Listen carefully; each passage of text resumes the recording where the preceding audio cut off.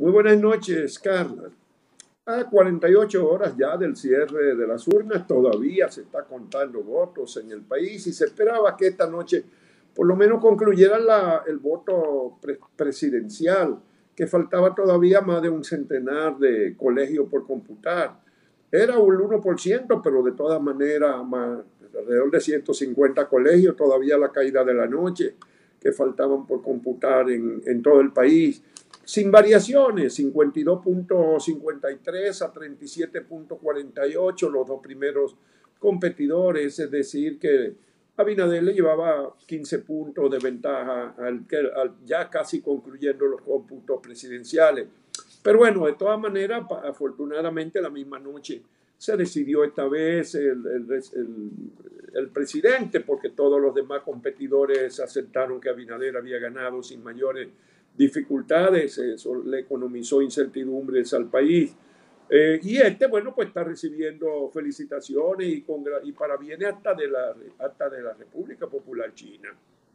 En lo senatorial y para la Cámara de Diputados siguen contando votos y ahí hay más dificultades.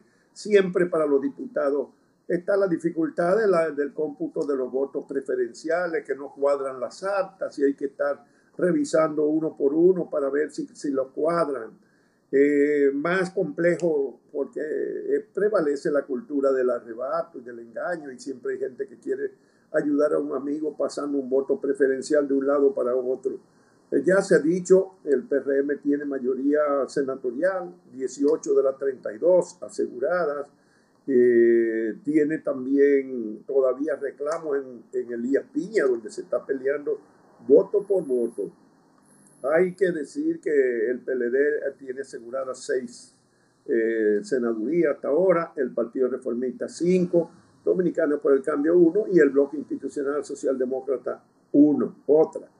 El reclamo de Elías Piña es el que está el, conflicto más fuerte que hay hasta ahora en términos de, de senadores, porque allí todavía no habían podido contar seis de un centenar de colegios electorales en Elías Piña y es porque cuando el, resultado está tan estrecho se hace muy difícil porque cada voto hay que revisarlo diez veces y los delegados se hacen se dilatan y hacen la, aplican la, el paso a la jicotea en fin. El PRM reclama allí el triunfo que hasta ahora se le ha atribuido al Partido de la Liberación Dominicana. El, el resultado es que faltan esos seis colegios que en total, por el promedio que han tenido los otros 100 colegios computados, alcanzarían a 1.646 votos por contar. Y la diferencia entre el candidato del PLD que está arriba y el del PRM de 112 sufragios nada más, igual a un 0.7%. Por los promedios de votos obtenidos, tanto el PRD como el, el PRSC eh, saldrían del, 3, del saldrían del 5% que los mantenía en la franja de privilegio de la categoría de los llamados mayoritarios, porque el privilegio es que participan de del grueso del pastel del subsidio del presupuesto nacional a los partidos, es decir, lo que son llamados, lo que sacan más de 5% promedio en las elecciones, pues le dan el 80% del presupuesto a los partidos. Y ahora mismo solamente dos están asegurando eso, que son el PLD y el PRM, porque lo que son el PRD y el PRCC están, pero muy críticos. El PRD apenas con el 2.35% y el PRSC con el 1.77%. Y falta, ya lo repito, menos del 1% de los colegios por computar, de manera que eso ya no le va a cambiar ni siquiera fracciones ya le va a cambiar con, esa, con ese mínimo 150 meses aproximadamente que faltaban esta noche al comenzar la noche. Bueno, pero ahí tiene muchas cosas extrañas. Eh, esos cinco senadores, por ejemplo, que se acreditan al Partido Reformista Social Cristiano, vayan a creer que son reformistas, varios son de la fuerza del pueblo. Pero además, lo grande del caso es que todos salieron con el voto del PRM, lo que demuestra las agallas, las capacidades negociadoras que tiene Quique Antún y Rogelio Genao, los líderes del Partido Reformista, porque la vez anterior también se salieron con buena representación, eh, esa vez en la Cámara de Diputados, y ahora eh, teóricamente en el Senado. Pero ¿qué es lo que pasa? Observen, por ejemplo, en La Vega, que es el templo donde reina el secretario general Rogelio Genao. Allí gana por 58 a 39, claramente, la senaduría. Pero el Partido Reformista, oigan bien, solo aportó 8.800 votos. ¿Y saben cuánto aportó el PRM, el PRM en La Vega a ese triunfo? 71.000, o sea, 71.000 a 8.000. De manera que lo de que es Partido Reformista es relativo. Bueno, igual pasa en Santiago Rodríguez, en Dajabón, en Villa Altagracia y en las hermanas Mirabal. En todas, el aporte del PRM es 5, 4, 5 veces superior al, de, al que hicieron los votos de los mismos reformistas. Eh, lo grande es lo de la fuerza del pueblo. Ahí es que se acaba todo. Se proyecta como la segunda mayoría en el Senado, teniendo eh, teóricamente menos, bueno, menos que el PLD. Pero ocurre que de los seis que se le otorgan al PLD, hay dos que son de Lionel, o sea, el de Pedernales y el de San Juan.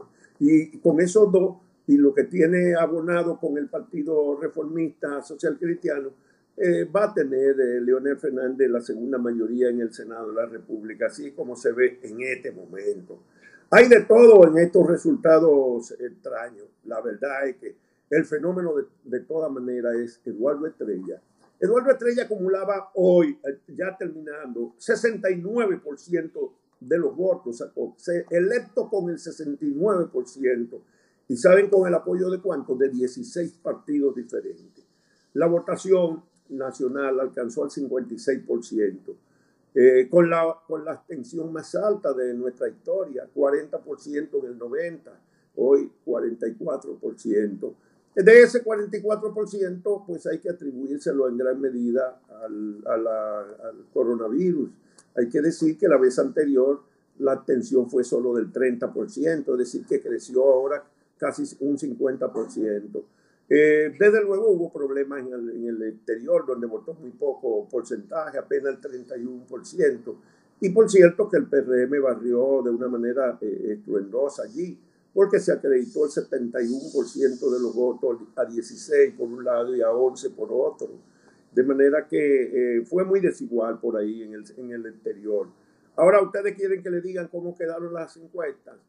Los que estaban, los que no creen en las encuestas, hay que decirle que hay tres encuestas que aceptaron casi muy, muy, muy próximos y fueron de las últimas que se publicaron eh, en, en, en, el mes de junio, poco antes, al cerrarse el plazo. La primera no fue la Galu hoy, como siempre ha ocurrido. Esta vez la primera es una empresa que no se conocía mucho aquí, la Gavidian Sportsters, que arrojó 52, 38 y 9. Y ya ustedes vieron que el resultado es ahora mismo es 52 y pico, 37 y pico y 9. O sea, acertó casi milimétricamente la Gavidian. Y después vino la Galu, le dio 53, 35.5 y 9.6, también muy cerca. Y en tercer lugar, hay que darle su crédito al Centro Económico del Cibao, que quedó casi pegadito de la GALU con 53.9, 35.2 y 9.5. Lo que hay es una diferencia de dos eh, totalmente. Se quedan esas tres encuestas dentro del margen de error. Ahora, ¿ustedes quieren que le digan cuáles fueron las peores? No, porque son muchas. Eh, fueron 23 firmas encuestadoras, hicieron 47 encuestas según lo que documentó el sociólogo Cándido Mercedes. Y por cierto que en el periódico hoy, en la página 5 de esta fecha, de este martes, hay un, eh, esa, recopilación de Cándido Mercedes está con gráficos muy interesantes y un buen, eh, un buen aporte para los que llevamos anotaciones y para el futuro.